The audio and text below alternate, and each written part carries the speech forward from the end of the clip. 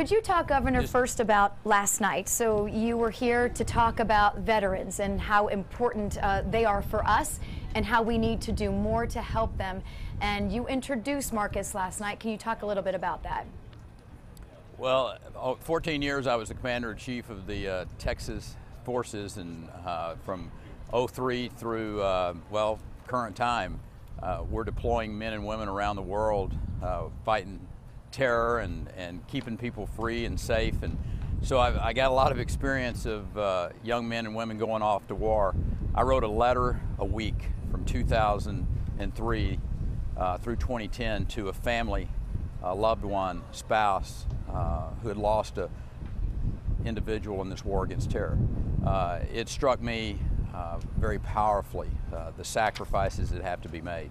And then when too many of them came home, Marcus being one of them back in uh, 2007 when he uh, departed uh, his service to our country, uh, I found that they weren't being taken care of. And, you know, fortunately for him, he had somebody like myself, but there are thousands out there who don't have uh, someone who can intervene for them. And that's what the next president of the United States has to do. Uh, President Obama had that opportunity and he's failed. He failed miserably, actually. This VA is not uh, serving our men and women well. Marcus, in your opinion, uh, hearing from you is, is very important. It's pivotal for, of course, uh, any of our next president, whoever it's going to be. What needs to be done for our veterans? Well, I, watching the news and you hear the, uh, the politicians speak about, uh, for instance, universal health care.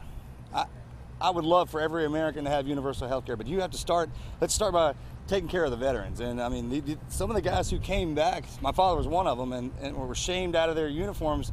Well, now they're dying in the streets. And uh, if, if we want to get a, a medical plan out there that covers down on all Americans, let's, I mean, you can beta test with the, uh, with the veterans. I mean, they'll, they'll, they'll take it. They'll, all they want is, is some health care. And they're not going to complain. They're not going to. They're arguing. I mean, you could actually tell them to stand in a line and just wait for wait wait stand here and wait to die. And they'll. I mean, we'll do it. It's it's it's it's that simple. They still will still follow orders. And going into these VAs, I mean, sometimes, and I think it's really important. And I haven't heard anybody say this: how wonderful the doctors are there, and, and the nurses and the staff. I mean, they, they really do take care of those veterans. I I, I know from experience. But somewhere in, a lot of stuff gets lost in translation and, and, gets backed up, and these guys are just suffering, man. I you walk into some of the VAs, it's I mean, you want to walk right out of there. And I think it's important for everybody to remember if you're not taking care of the people who take care of us, then then we don't. Where are we starting? It's it's. I think it's so logical that it gets overlooked. And a lot of people they they implement these great programs, but they don't stick around to make sure that they're they're, they're facilitated or that they're they're running to uh, fruition. So uh, I think it's important to take a step back and, and, hammer down some of the most important stuff, and then we can move on to, uh, to other things. Marcus, in your opinion, who do you think would be better for that job, Hillary Clinton or Donald Trump, to help our veterans, our veterans coming home, but also our forces that are out there right now defending our country? I, Mr. Trump, I, I, I, had a chance to meet him and talk with him and explain to him my point of view and what a lot of the veterans and that and he's he's a great listener. I mean, he just sat there and, and let me talk the whole time and just to peer behind that curtain and see that he's willing to do that.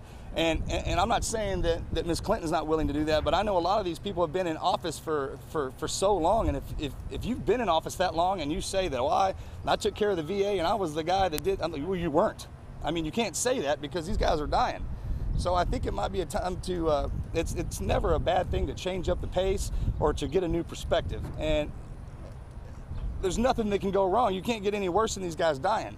Mm-hmm. I mean, you know, at least die with a band-aid or something. I, I don't know how far you want to, uh, we can go down this rabbit hole before people go, man, this is getting a little ridiculous because the veterans are our fathers, sons, children's mothers. I mean, this is, it's not one of those deals where you're born into that automatically with that uniform. You don't come into the world with that. These people step up out of our communities and go over there and take care of business on the nastiest part of it.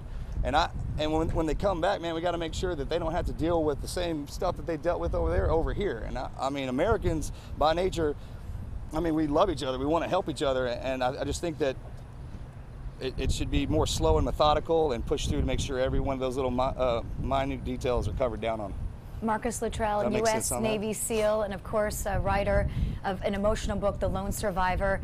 We thank you for being with us. Thank you for your service yes, to our great country and keeping it so great. And thanks for taking the time to be with us. Also, Governor Rick Perry, thank you for being with us as well.